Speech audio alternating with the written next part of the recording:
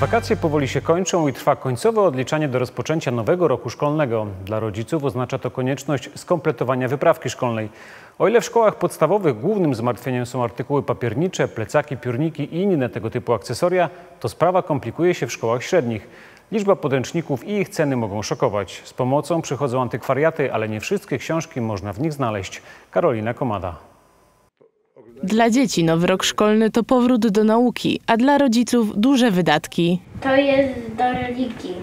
Laura idzie do czwartej klasy, więc razem z innymi dziećmi szkół podstawowych dostanie ze szkoły podręczniki, materiały edukacyjne i ćwiczeniowe, ale tylko do przedmiotów obowiązkowych. Rodzice muszą jej kupić książki do religii. Na pewno zaskoczyła mnie cena e, kleju, e, taki lepszy klej, e, który dzieci moje używają w sztywcie.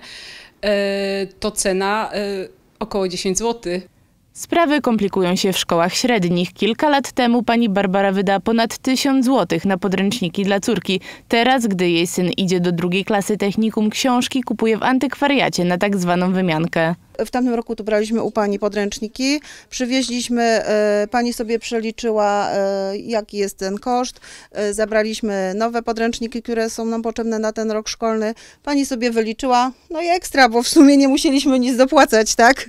Niestety w antykwariatach nie wszystkie książki są dostępne. Nie ma w nich podręczników do nowych przedmiotów typu HIT, czyli historia i teraźniejszość, biznes i zarządzanie, a także podręczników z nowej podstawy programowej. W liceum ceny nowych podręczników do pierwszych klas sięgają nawet 1000 zł za komplet. Jeśli chodzi o książki nowe, to ceny w tym roku wzrosły e, i myślę sobie, że wzrosło około 20-30% w księgarniach. No nie jest to wina księgarzy, e, tylko wina no, całej sytuacji i w związku z tym e, te podręczniki są droższe.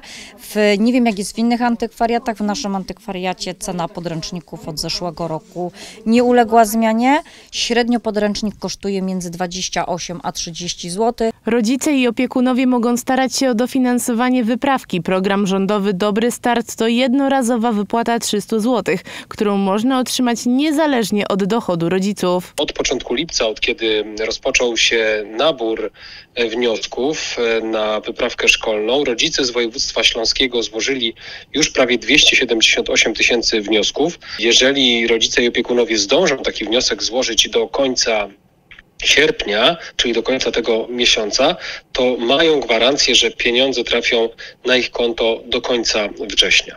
Patrząc na ceny podręczników i przyborów szkolnych na wiele nie starczy, ale zawsze to jakaś ulga dla rodziców, zwłaszcza jeśli do szkoły posyłają więcej niż jedno dziecko.